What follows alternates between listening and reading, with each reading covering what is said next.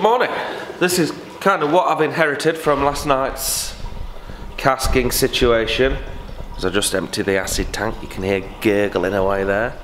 So we've got a load of uh, best bitter casks on the floor that actually need uh, putting onto a pallet. I don't have any cask stackers though, that's the problem. So uh, maybe that's something I could address today if possible. Uh, and I'm also going to get into the shop, which is yet to be illuminated behind us. So I want to get in there and start to utilise those shelves that we've installed. Beeswax for the runners. Be a good idea to do that before we actually stack any shelving in there. So I might just run upstairs, have a look on good old Toolstation and maybe uh, we'll have a run over the workshop first thing this morning and pick up a few things so we can uh, get cracked on like.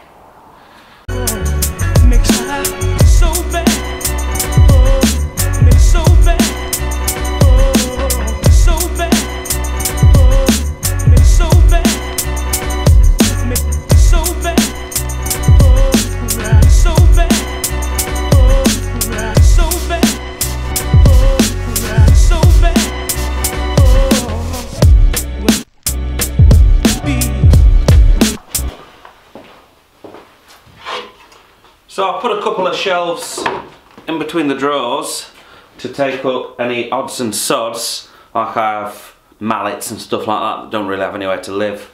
Now they do, friggin' rights they do. And I've also applied some wax.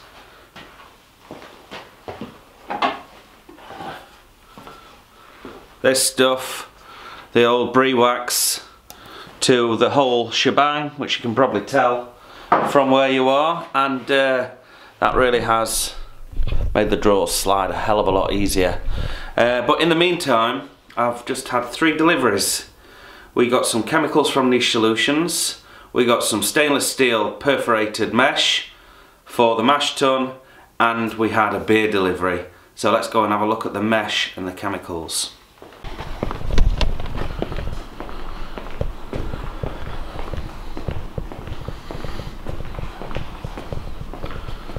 Here we go, baby. So, for anybody who's interested, we've picked up the nitrocid and the fuzz Fosgel. These are both for cleaning the deposits off the new tanks. So they'll get rid of all of the uh, carbonate deposits in there, the beer stone, and pacify the stainless as well. This stuff will do that quite well. And then we've got Cosgleam Plus, which is what I should be using for all the CIP on the main kit over there. I didn't have any, I only had HyperQuest and ChloraQuest, which actually can damage the stainless steel, so uh, now I've got those, then we can save the HyperQuest and ChloraQuest for the correct applications, which are like uh, once a month, running it through your plate exchanger and that kind of stuff because they're brutal. They're some of the most aggressive cleaners out there. And then finally, here is the perforated steel sheet.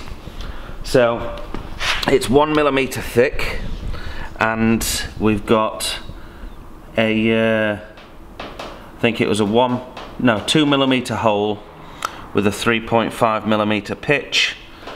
So that should be sufficient for us to uh, make a decent false bottom. I'll tell you what, when I sat close looking at it then, my eyes couldn't focus, never mind the camera. So I'm going to drag this into the, uh, to the workshop. We'll see if we can get a rough pattern of the mash tun, or the diameter of the mash tun at the very least. And then we'll get the old circle cutter out that I made for the plasma torch way back in uh, March, April. And we'll cut out a false bottom for the mash tun and weld some standoffs and whatnot on it. Yeah, get rid of the copper.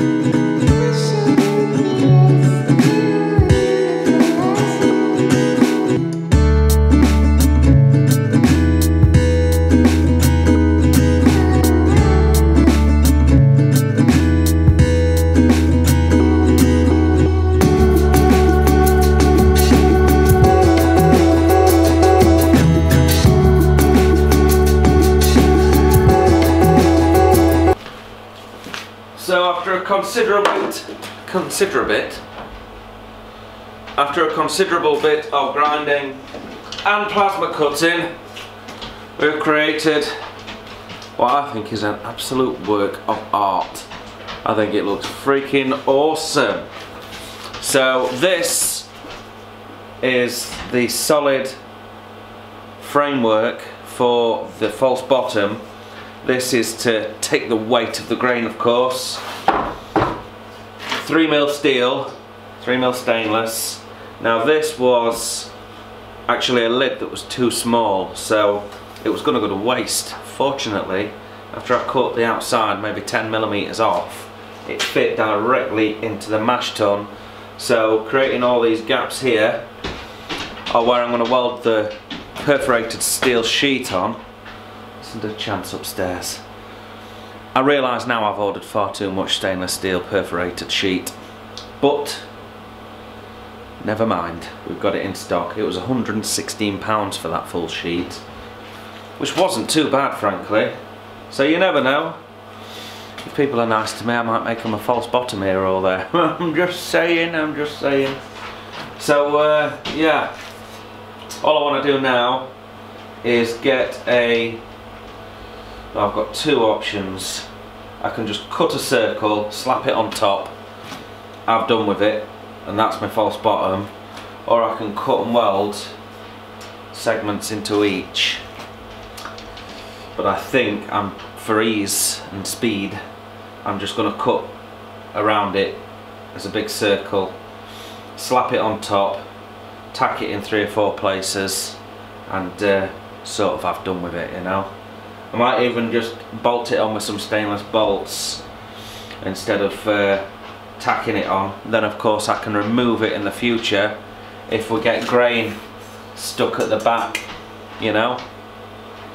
So let's give it a whirl. Let's get the uh, get these bits off of here and we'll put the stainless steel sheet up and we'll cut it.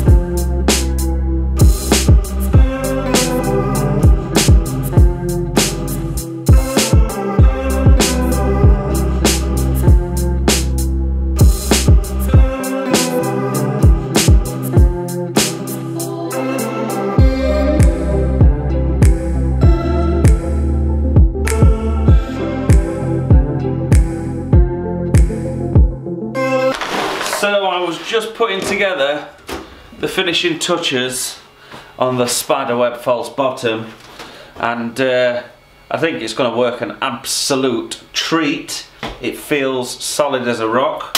I mean it's not flimsy, it's got no play sideways or anything like that. But one thing I just realised was how do I get it back out again once I've dropped it in because initially I could put my hands through the holes you see to pull it up. So what I'm going to do one last thing is just make a handle out of some stainless steel and we'll just attach a handle to one side of it and then uh, you only need to lift one side and then it's out. So I'll see if I can find some flat bar. If not I'll have to use a little bit of the threaded bar that I've got left. Ah. I've actually got a little bit of angled stainless I could use to be honest. So I'll cut that up and uh, make a nice little angle. Ah, slight change of plan. I actually found some scrap metal in the bin which was from the legs for the main tanks.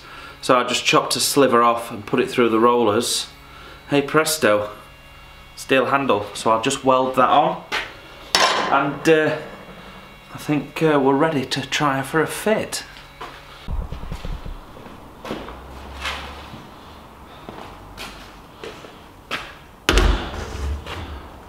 The finished article. That's better. So can you get a good look at that? Yeah so on the back we have the support mechanism.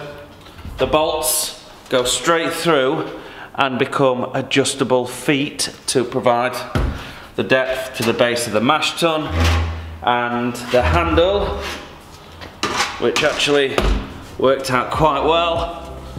What do you think to that? Is not in the way. We can mix around it and uh, it's welded on friggin solid.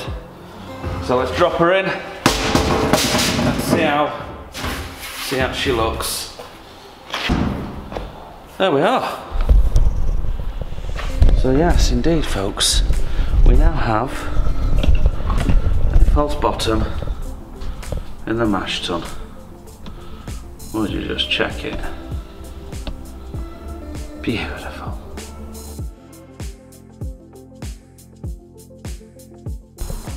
Well, you know what? I call that a good day's work, don't you? I think uh, I can wrap it up from here. It is five o'clock. There's no point me staying till six or seven again because it just does my head in the next morning.